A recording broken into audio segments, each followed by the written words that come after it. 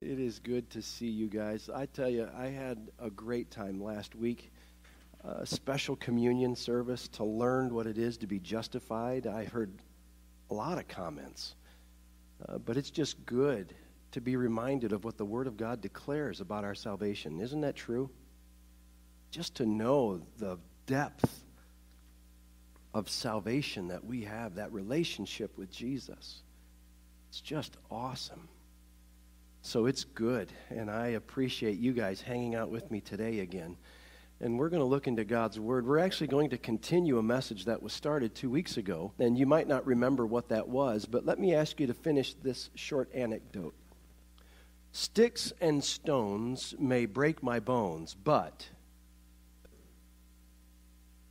Say it loud and proud, will you? Sticks and stones may break my bones, but.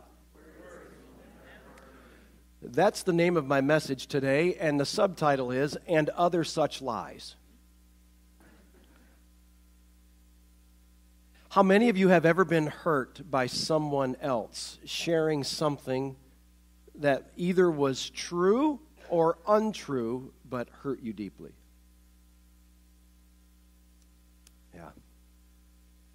We've learned that sticks and stones may break my bones, but words has no power over me. But that's a lie, isn't it? We all care about what other people think of us. We care what they say about us. There is absolute power in words.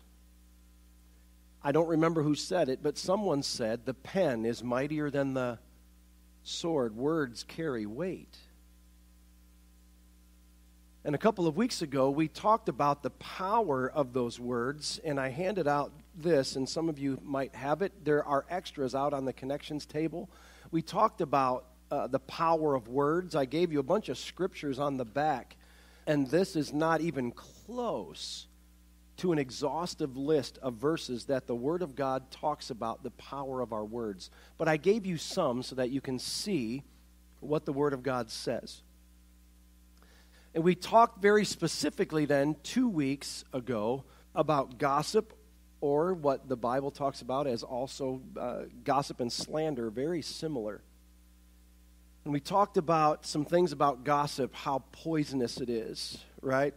How dangerous it is, how foolish it is. And we recognize that it is absolutely not the plan of God for us as believers. And that's where Buddy was pointing fingers at me, making sure he wasn't gossiping. Gossip, we recognized a couple of weeks ago, is when we talk about someone else who isn't present and we w- are saying things that we might not say to them if they were there. That's just an easy, quick definition. There's more to it, and we discussed it two weeks ago.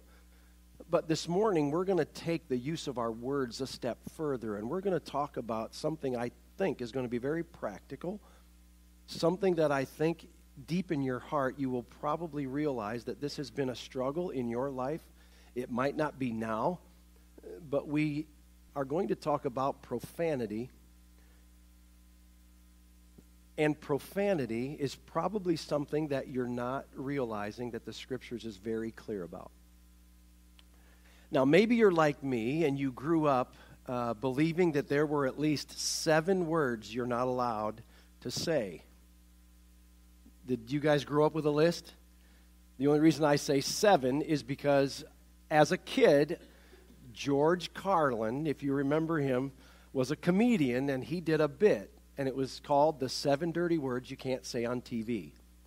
Now, I don't know what those words are because I was never allowed to share those, nor was I ever allowed to listen to George Carlin. So I don't know what they are, but I would guess probably six out of those seven are being said on TV today.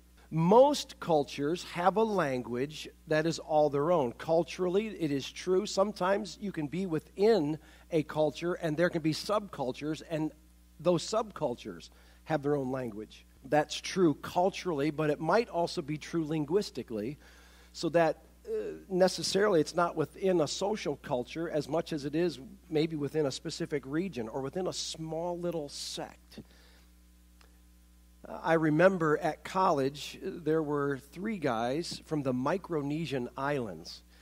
And they were each from a separate island, and each one of them had a separate language. But there was a common trade language that they all spoke. And I thought it was kind of neat.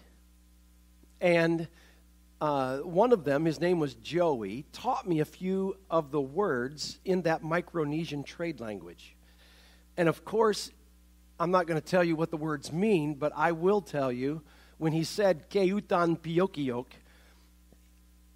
he was very girl crazy. That's all I'm going to say about that because you can guess what the translation is. But there were things that he would say, and he would go, Oh, Keutan Masamau.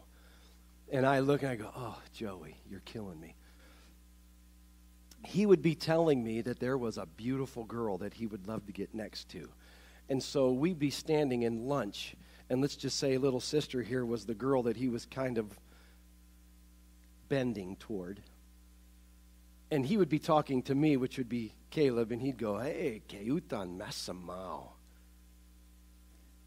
And she'd go, and he'd go, hmm. So you know what he was trying to, right? And that was his flirtatious way of getting next to, what did you say? Nothing, baby, and all that. Then all of a sudden, perfect English would come out. So you understand, language has with it some culture ideas. Sometimes it's just linguistic. You and I know in America, we have a subculture of language. It's called slang. What do I mean when I say ankle biter? A chihuahua. Boy, you ought to be glad my wife's not here. It can be any small dog, even small children that are just little, right? And we call them ankle biters. Now, think about this. If we think about that term, those two words, literally, ankle biter, a small dog usually isn't what comes to mind, right? What does this mean? And, and I, I kind of have to tilt like this when I say, I'm just chilling. What's that? I'm lazy, hanging out. Is it because I'm cold? No, I'm not making ice cream either, right? What about this? I'm zonked. Tired, sure. How about this one? And I, I learned this one the hard way. Uh, and, and again, this is a few years ago. I'm down in Georgia, and I was with some little boys, and they said, Doug, we want to hang at your crib. What's that? Yeah, they want to go to my house. Listen, I didn't have a clue what they meant. I'm like, you want to do what? Hang at your crib. I went, don't know what you want. They had to explain.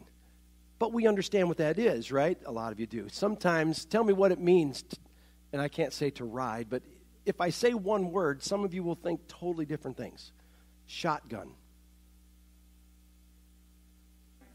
Some of you sit next to the driver, some of you going, hunting season. so you understand when we talk about language, there are some inherent cultural, linguistic things. There's some regional talk. We don't say this around here, but when I was living in Georgia, very prevalent. You would hear words like y'all, and which, by the way, everything in the South is broken because they're fixing to do everything, right? but that's just regional talk. In Hawaii, does anybody know what a puni is? If Kat was here, she could tell us. A puni is nothing more than a couch, small sofa. So in Hawaii, it's not a sofa, it's a puni. Originally, uh, I guess that makes sense. It's kind of be cool, right? Yo, where's your puni? Kind of sounds fun. Here's what's interesting because inside the four walls of a church, the longer you hang out with Christians, the more that you realize Christians also have their own language. Run an experiment and just go talk to some of your friends that don't know Jesus, have never gone to church, and ask them what it means to be redeemed. See what answers you get. Ask them what they think it means to be washed in the blood.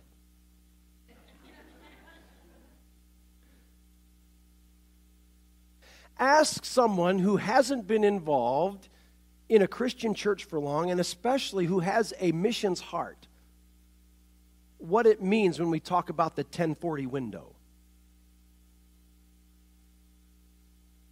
You get the idea. There's lots of things in, or here's another one, and I wrote this one down. What does it mean when you look at someone and you don't see fruit?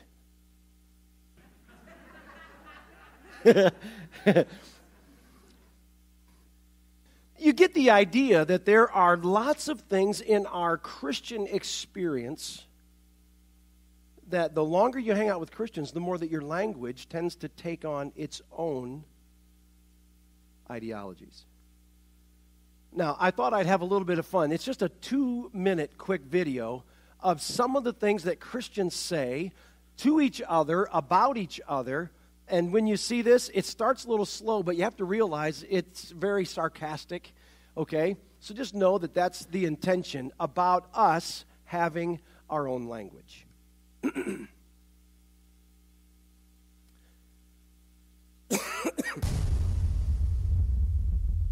Bless his heart. I Think he's backsliding? I think I saw him drink. Yeah, but in moderation. I just wasn't seeing much fruit. He's going down a slippery slope. How's your heart, man? How's your heart? I'm just such a words guy. It was a total God thing. I'm blessed. I've Been working on my testimony. Is that secular music? We're opening with a secular song tonight. Wait, is this a secular song? Isn't she secular? Which station's the fish? 104.3 The Fish. Safe for the whole family. You know he's a believer. I think he's saved. I just pray you would give him traveling mercies. Pray for all Tyler's unspokens. Mm, echo that. Just really like to echo Tyler's prayer, Father. I just I echo that echo of my echo of his echo. I really feel like I'm being released from this, you know? I'm trying to be relevant. I'm just trying to be in the world, not of it. Hey, do you want to join our small group? You want to join my D group? You want to join my cell group, community group, access group, accountability group, Acts 27 group? Dude, he brought it. He brought the word. That service last night rocked me. They're pretty purpose driven. Yeah, it's seeker. Don't they do seeker service there? I feel like he's gotten really watered down. I don't feel like he really teaches the word. There's not enough meat, you know? Are they non to non? We have a great Wednesday night supper. Let's invite some dudes over and fellowship tonight. We're gonna have a sweet time of fellowshipping tonight. Dude, we had the sickest fellowship last night. We're going to Extreme, Velocity. Ignite, Yeah, I'm going to Ignite. The Edge, The Dive. The Bridge, The Ramp, Fire. Courageous, Passion, Echo, Reverb, Noise. Velocity, Drive, Elevate. Radiate, 722. 635, 419. Orange, Blue. Yellow, Green, Clear, Neon. Catalyst conference this year. I don't do that because I feel like it ruins my witness. Been struggling with that. So I'm really wrestling with that. I'm wrestling with a doubt. Need someone to hold me accountable. I'm really trying to be intentional with her. I'm pursuing her for sure. I'm trying to guard her heart. Guard her heart though, bro. Will you hold me accountable to that? Yeah, well, bounce your ass. Bounce your ass. Dang it. Crap. Shoot. Sheesh. Frick. Darn it. What the H? Holy crap. Son of a beasting. Dude, he's really teeing me off. I'm gonna kick his A. Are you asking me right now? Not cool. I, I find that offensive.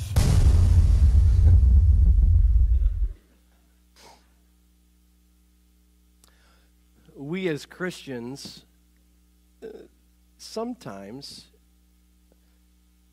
dance around certain issues, and I think this is one of them. So I want to be straightforward, and I want to answer three very specific questions. the first of which, oh, which, let me just back up a minute. Um, when we talk about profanity, my exposure to profanity started in kindergarten. My buddy, who lived two houses down from us, his name was Jeff. And we played together. And I was down at Jeff's house, and I was playing, and his family was not known to go to church to talk about Jesus unless in a kind of angry way. and so their speech was a lot different than what I was used to. So I was at Jeff's one day, and they taught me a new word. And my mom then called me home for supper, and I thought, I can't wait to get home to share with my family my new word. So we're sitting around the supper table, and I waited for the right moment, and I blurted out this expletive that began with S and ended with T and had two words in, or letters in the middle. And I didn't realize that I had blessed everyone as much as my mom. who got right up, grabbed me by the shirt collar, gra- dragged me down the hallway, said, Stick out your tongue, got the ivory soap and painted it white. And as she's rubbing my tongue white, she goes, Don't you ever say that word again. That word will not be offered in my house and in my presence. And I'm like, Oh, I didn't know that that word was off limits. That was my first exposure to what my mom would tell me was swearing. Now, I don't know what your exposure was. I don't know where you learned it, or maybe you grew up in a house that regularly used words. But I really didn't understand. I didn't have a, a hook, I didn't have a foundation. All I knew was there are certain words that if I say them, I would be tasting ivory soap. Now, I don't want to ask if any of you were raised in a similar kind of home. I know today you'd probably say that's child abuse. I made it.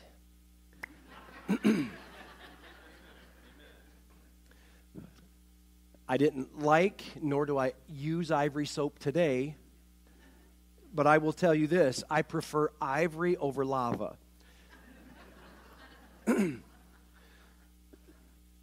So let me just give you three questions that I will answer fairly distinctly and I hope very quickly. First, what is swearing? We say that it's profanity, and the Bible actually uses the word called profane. By definition, profanity is socially offensive language generally considered to be strongly impolite and rude. Literally, the word means a lack of respect for things that are held to be sacred or deserving reverence. What that means is if you're going to offer something profane, you take that which is sacred and you show a opposite respect for what deserves to be revered. It's interesting how much research has gone into swearing just Google profanity, and you will see a load of research that comes back. I was surprised. Keele University had three researchers that won the 2010 Nobel Peace Prize for their research on how swearing relieves the effects of physical pain. So if you're hurting, it's okay to punch out a few profanities because they said it helps the physical pain to go away. And they won a peace prize for this. It's shocking. So just if you have no time today to do anything constructive, go ahead and Google profanity and see what comes up. a researcher, Steven Pinker, he identifies five types of swearing. Did you know that there were types of swearing? He calls the first one abusive swearing. That's intended to offend or cause harm to someone else. Abusive swearing. Then he calls something called cathartic swearing. That's where it's good to just swear and get something off your chest, whether it's pain or some kind of misfortune. Then he called the third type of swearing dysphemistic swearing. That's where someone who speaks and whoever's speaking thinks negatively about their subject matter, so they can go ahead and show this kind of swearing. Then there's a fourth kind of swearing. He calls it emphatic swearing, and that's a swearing that draws attention to what is worth being paid attention to. So if you want someone to really pay attention, throw out a couple swear words, and that's emphatic swearing, and they'll pay attention. Then there's the fifth type, and he calls it idiomatic swearing, where that is used just to prove that the conversation that you're in is not formal, it's informal. So if you want to get to know somebody and just be their friend in an informal setting, throw out a couple swear words. It's idiomatic, it's okay. Interesting. I never knew any of this stuff. And some of it, to be honest, isn't worth even repeating. Swearing is taking something that God intended to be reverent and holy and giving it a lack of respect. Let's just call it what it is. Second question. Maybe you're like me and, and when I was growing up, we were told that swearing is taking the Lord's name in vain. Anyone ever heard that? We were told that if you use the name of God, Jehovah, Yahweh, Elohim, Jesus Christ, the Holy Spirit, in any way, shape, or form that does not give him the due that he's worth, that's taking the Lord's name in vain, correct? So if you say the word Jesus Christ, but you say it emphatically and in anger, that's taking the Lord's name in vain. That's what you guys learned? How much did I just learn this past week that that's wrong? Taking the Lord's name in vain comes from Exodus 20, verse 7. It's given in the Ten Commandments, and it says in verse 7 You shall not take the name of the Lord your God in vain, for the Lord will not leave him unpunished who takes his name in vain. The word in vain, or just vain, in the Hebrew language, is a word that literally means to empty. What that means is if you are going to take the Lord's name in vain, that you will empty the name of God of every last bit of power that He has. You would declare that God has little or no power, whether it is to create, to judge, to rule, to exercise authority over, or to give power to you and I so that we can live victoriously. At any moment that we basically empty God of His omnipotence, that is sin. Which goes far deeper, far broader than just saying a few names in anger. At any time that you say that God is not omnipotent and he has the power to do anything he wills, you're taking his name in vain. Is that swearing? Yes. Because you are robbing God of the power that he rightfully deserves you are emptying God of his power. Paul says something very similar to that in Galatians chapter 1. And in two verses, he says that if someone comes to you and preaches another gospel, call him anathema, accursed. The NIV says eternally condemned. The word anathema could be considered a New Testament swear word. It meant this person is devoted to God for destruction. There is nothing redeemable about this person.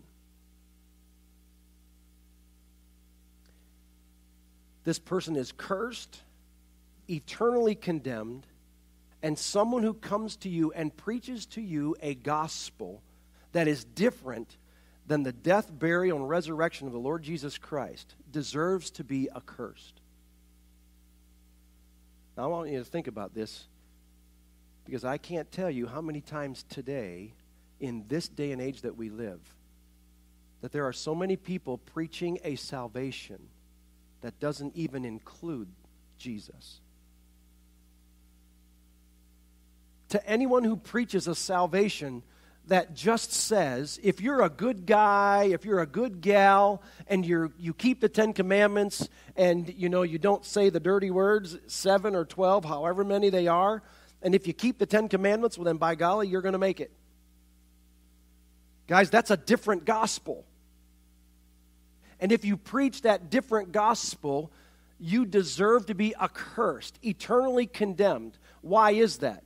Because what you're doing is taking the name of the Lord Jesus Christ in vain. You are emptying the power of God in His gospel, the fact that Jesus died on a cross to deliver all of us from the effects and the power of sin. So if you're preaching another gospel, you're actually taking the name of Jesus in vain. And you're guilty. Does that make sense?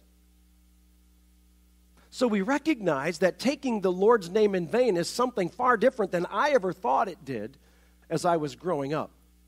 I just thought if I used the word God and followed it by this thing that beavers build, that was taking the Lord's name in vain.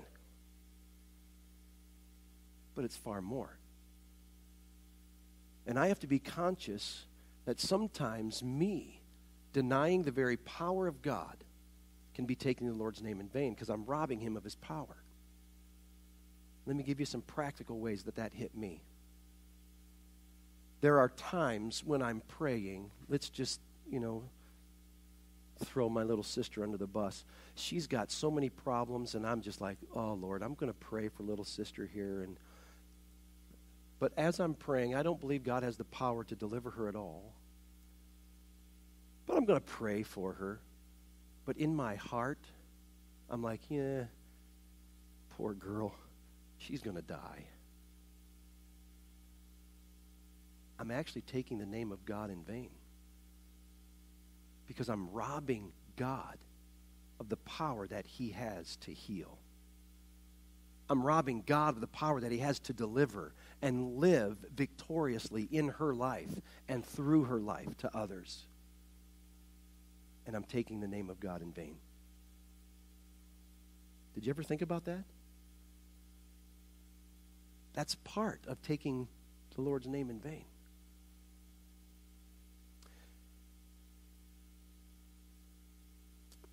So, profanity, socially offensive language, taking the Lord's name in vain, it includes probably uttering profane words, but far more. Let me get to the third question.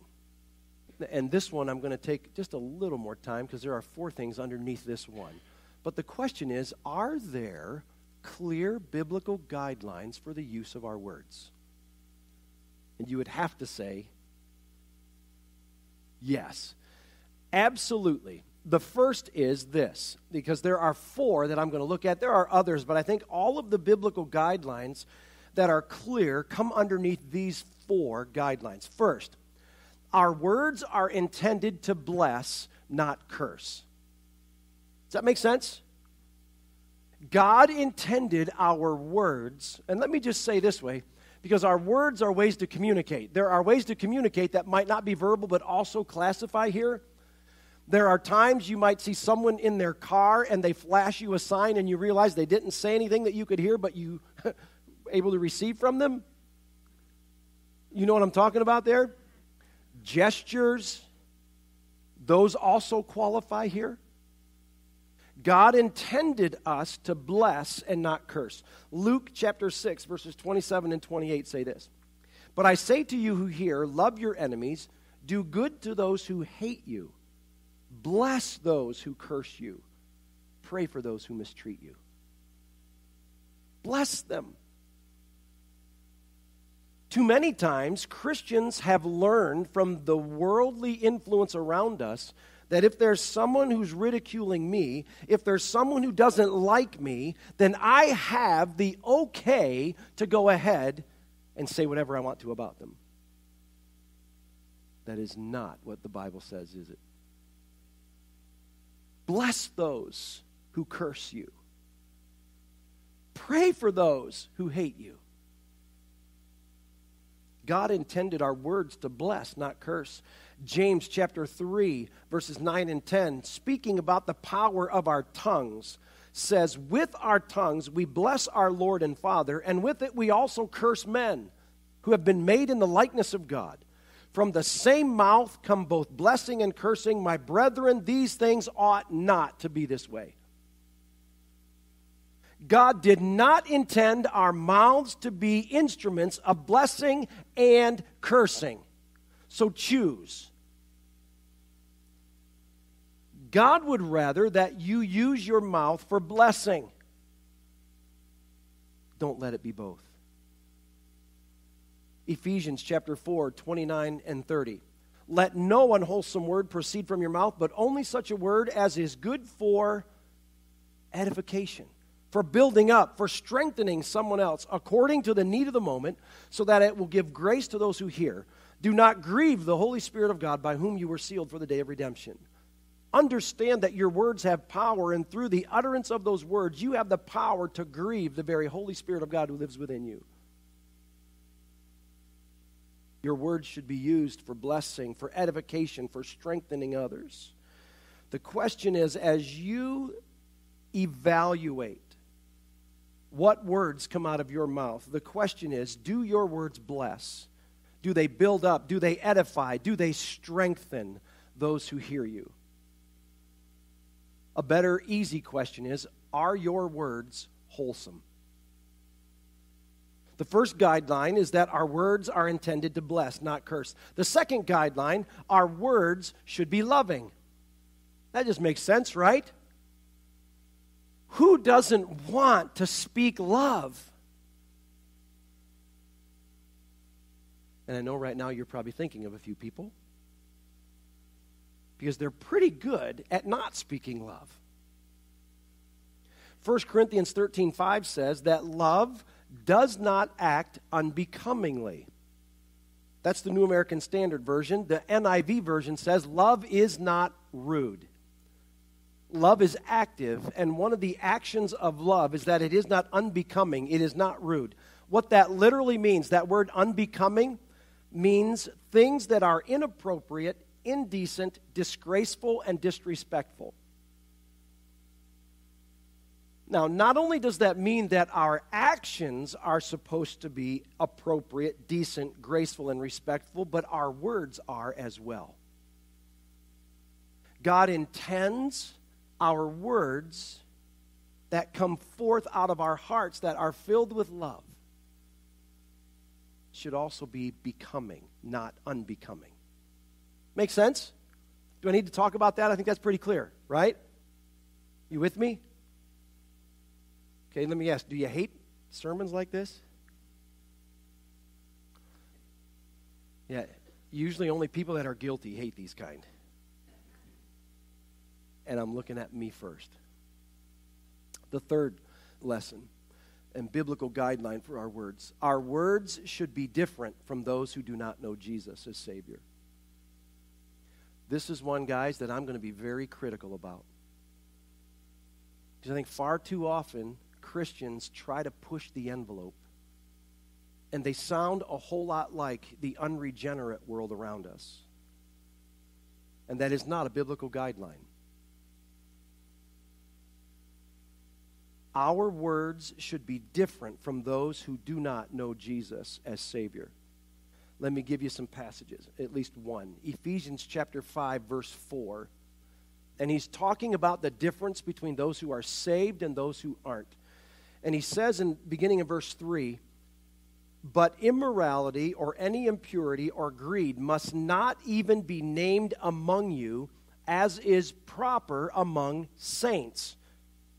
In other words, there is something that is proper about those who know Jesus that is improper for those who know Jesus. And then he says, and, verse 4, there must be no filthiness and silly talk or coarse jesting, which are not fitting, but rather giving of thanks. There is a difference, he says, with those who know Jesus and those who don't. And he gives three very specific verbal promptings in verse 4. First, he said, there should be no filthiness. NIV says there should be no obscenity. Literally, that word means filthy language anything that is inappropriate. Here's the problem with that we've allowed the culture to decide for us what is appropriate and inappropriate. Instead of allowing this to be the guideline. And we have morphed into what the culture says is okay. But that's just filthy talk. Secondly, he says, there should also be no silly talk.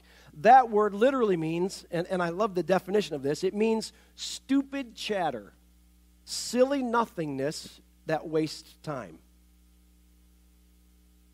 And I have to admit, I qualify there. My kids, when, when we only had one vehicle and we had, they had to wait for me to go home after church, my kids would always say to my my wife, and I can say it because none of them are here. But it was true. Why does dad have to talk? And I don't know there's a song out there, but Brandon would go around my wife and he would he would go like this as he's waiting. and he would kind of draw circles around my wife, and he would sing, Some people talk and talk and never say a thing.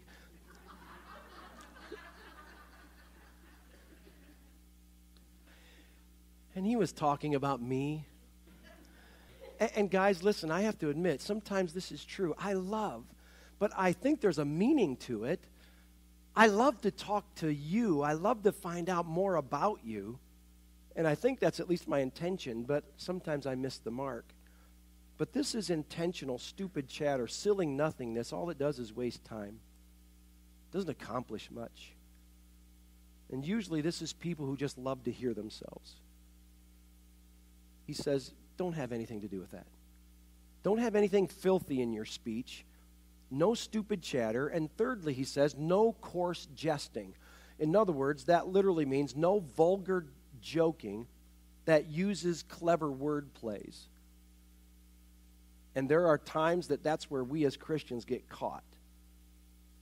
We know that there are things that I, I didn't really say that word, but I said the one that's close to it, right? We can say things in anger and we say, well, that flippin' thing, and we know that I didn't say the other F word. So this F word is okay, right? That's coarse jesting as well. Well, what makes it coarse? Thanks for asking, because we're going to look at that in just a minute. But I want you to see at this point, very specifically in Ephesians 5, verse 4, the Apostle Paul says there should not be filthiness, silly talk, or coarse jesting. He says, which are not fitting, which are not appropriate. They don't fit. But rather, he says, what should fill the mouths of those who know Jesus is the giving of thanks. You see, what happens is, as Christians, we get taken away with what's going on, either in my situation or your situation, or what's going on on a lineal matter, and we forget that there is a heavenly matter that we have to take care of. And if we're guilty of filthiness or silly talk or coarse jesting, it robs God from me giving him the thanks that he deserves. Most of the time, God is active around us, and we don't even see it because we're focused on these little things. And then we begin to speak about these little things in silly talk or in coarse jesting.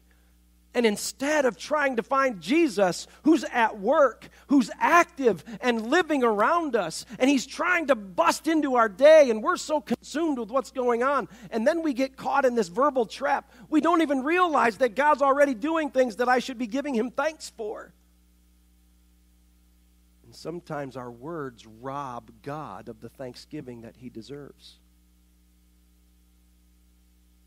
Because my eyes are in the wrong place. See, our words as Christians should be noticeably different than those around us who do not know Jesus. And if you find yourself saying words that also come out of non Christian mouths, you need to start asking yourself some hard questions. Not because Pastor Doug is preaching this sermon and telling you to do so, but because Ephesians 5, verse 4 says, there should be none of this kind of talk, but the giving of thanks. There ought to be this thing welling up within us that is not just edifying each other, but glorifying this great God that we believe in. Is your talk different noticeably different than those who don't know Jesus. Now, I want you to notice so far, I have yet to label anything as a swear word or a cuss word. Because we're talking about our words in general. I'm glad that the Bible didn't label certain words, right? Which, by the way, we think damn is a bad word, and it can be used in a profane way. But do you realize damnation is a biblical concept that we can't get away from? there are those that God will send into eternal damnation. We can't get away from that. Hell can be used as a profane language, but do you realize there's a real place called hell? And we have to talk about it. Because the truth is, I'm going to do my best to do everything that Jude says to snatch people from the fire of hell. That's our job as believers. But you can also use what God intended to be a good sense of theology for bad language. Because the fourth biblical guideline, I think, helps to clarify that. The fourth biblical guideline our words should be culturally and socially clean.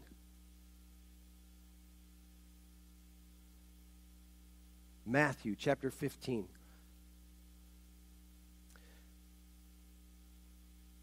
Jesus speaking says, You hypocrites, rightly did Isaiah prophesy about you, saying, This people honors me with their lips, but their hearts are far from me. But in vain do they worship me, teaching as doctrines the precepts of men. After Jesus called the crowd to them, then he said, Hear and understand, it is not what enters into the mouth that defiles the man but what proceeds out of the mouth, this defiles the man. Let me jump down to verse 15 of Matthew 15. Peter then said to him, Teacher, explain this to us. And Jesus said, Are you still lacking in understanding also? Do you not understand that everything that goes into the mouth passes into the stomach and then is eliminated? But the things that proceed out of the mouth come from the heart and those defile the man. For out of the heart come evil thoughts, murders, adulteries, fornications, thefts, false witness, and slanders. These are the things which defile the man, but to eat with unwashed hands does not defile the man. Is that powerful or what?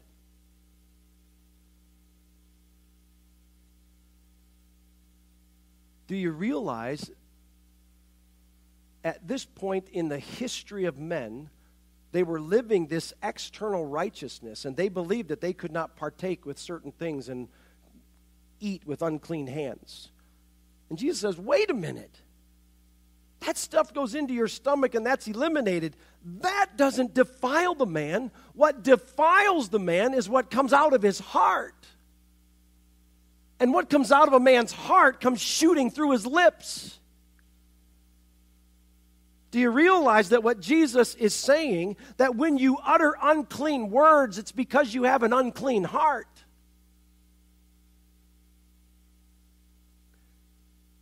Unclean words come from a heart that needs to be cleansed.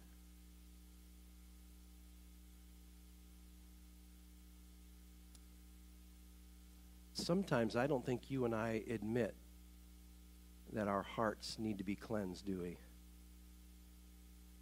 That was the struggle for me. For years and years, I, I would get away with saying these words that weren't quite the dirty dozen or the smashing seven or whatever you want to call them. But I knew it was just a compromise. And when I realized that it was my heart that was wicked, And I realized, like Jeremiah the prophet, he says, the heart, it's deceitful above all else, desperately sick. Who can know it? The very next verse in Jeremiah, Jeremiah says, I, the Lord, search the heart. Guys, I, I think in Christianity, we don't need to become legalistic about whether or not we're saying foul language and dirty language. But we do need to allow the Holy Spirit to sweep through this decrepit heart of ours and show us the things that aren't surrendered to Him. And quit making excuses, quit compromising, and say, Jesus, I desire for my heart to be wholly yours, to be clean and pure and sanctified by the blood of Jesus. I want every word that comes from my lips to come from a heart that has been touched by the holiness of God. See, here's the thing. Most of the times, when we say those words that are questionable, it's probably because we're mad, we're frustrated, we're aggravated, we're confused. And add to that any of the emotions that you want. But do you realize that in the scriptures, not once does God ever give us an excuse to sin because our emotions are out of control? Not one.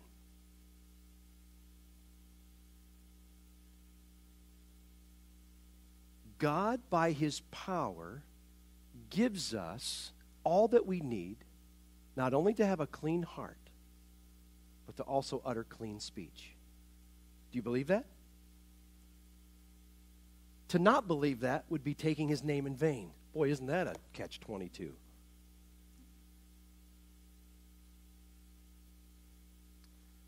There is severe consequences to not having our words sprinkled clean. The Sermon on the Mount in Matthew chapter 5, this is again Jesus speaking. He says this You have heard that the ancients were told, You shall not commit murder, and whoever commits murder shall be liable to the court. Now listen to this. But I say to you, that everyone who is angry with his brother shall be guilty before the court. And whoever shall say to his brother, Raca, shall be guilty before the Supreme Court. And whoever shall say, You fool, shall be guilty enough to go into the fiery hell. Have you ever seen those verses before? Do you see the consequences of our words when uttered outside of the holiness of God.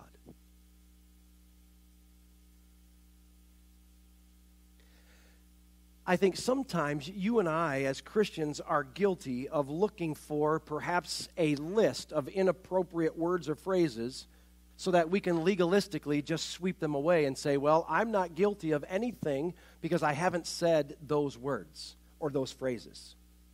But can I tell you what God wants to promote biblically through guidelines that I just talked about is more than just this legalistic list that we can and can't say.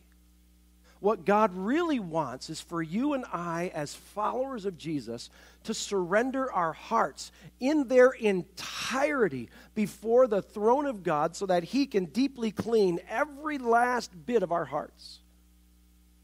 And then as he cleanses our hearts, to allow the words then that fill that heart to come flowing out of our mouths. That's what he desires. David prayed in Psalm 51 Create in me a clean heart, O God, and renew a right spirit within me. He also prayed in Psalm 141, verse 3 Lord, O Lord, set a guard over my mouth, keep watch over the door of my lips. Those are two of the greatest prayers as we close our service today. Maybe you need to pray them. Lord, I have to ask, would you create in me a clean heart? Would you cleanse this decrepit thing that is within me? And Jeremiah says, It is so deceitful, but God, as your Holy Spirit has spoken today, you have showed me that my heart needs to be cleansed because my words aren't very glorifying to you and they're not edifying to my brother. I want my words to be thanksgiving toward our Father, to be glorifying to Him.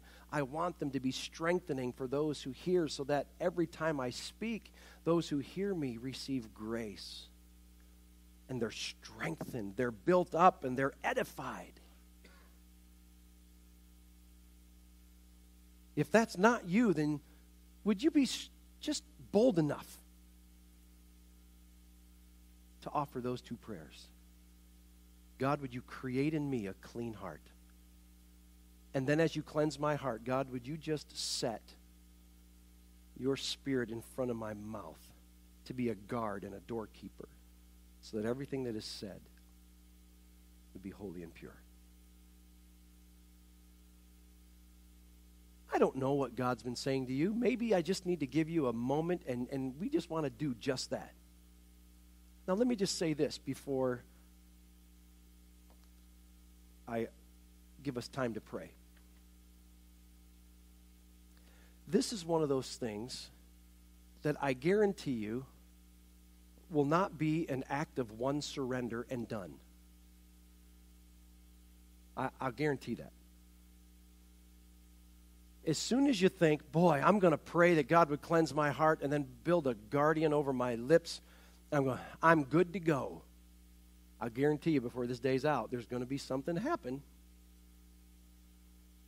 And you're going to rise up and go, and then we're going to do like we learned last night that Nicole does with her dogs. You just enter nonsensical words. You just go, right? Which, by the way, you do that to a dog that goes, right, Nicole? That's what she says she does to her dog, right? I think that's fun. Guys, this, this is going to be something that if you start here and if you realize you need God to cleanse your heart and also to cleanse your lips and your tongue, it's, this might be the beginning of what needs to be a consistent and a constant surrender. But know this if God does not have the power to cleanse your heart and cleanse your tongue and allow your speech to change, then He's not God. But we need to trust Him to be that powerful God with something that maybe you and I have struggled with far too long. So, would you trust Him? And maybe we need to just pray two quick prayers Lord, create in me a clean heart, then set yourself as the guardian of my lips. Let's bow. I'm going to give you a minute to pray to yourself, to God, right where you are by yourself, and then in just a moment, I'll close us in prayer. Lord, you know we've been looking at some things that I hope are have been very practical, I think, this summer. Things that Christians do that aren't necessarily biblical. We looked at how sometimes we worry, and that's not a concept that you want us to delve into. And we've looked at a lot of other things. One of the things we've been looking at the last few weeks, Lord, is the power of our words. And sometimes, Lord, we are just guilty of saying things that don't look like you saying things that don't edify, saying things that don't glorify. And Lord, I just want to ask as I throw myself into this group with all of these wonderful people here today, would you cleanse our hearts? Would the precious blood of the Lord Jesus cover us and cleanse us from all unrighteousness? As we have confessed that, Lord, I thank you that your word says that you are faithful and you are just. And you will forgive us of that sin and you will cleanse us from all unrighteousness. And we thank you. But now, Lord, as we have been cleansed and our hearts have been made pure and clean, would you now set your spirit as a guardian? May you be the doorkeeper of what comes out of our mouths so that, Lord, from this point forward, may we be so aware of our words, so conscious of the things that are going on deep in our hearts, so that long before those words ever proceed out of our mouth, you will deal with us in our hearts, so that some of the words that we have struggled with will never, ever have a chance to be uttered again. So deal with us deep in our hearts, so that as a result of our hearts being constantly surrendered, covered, with the presence of your holiness, that we will not struggle to say some of the things that we have to this point.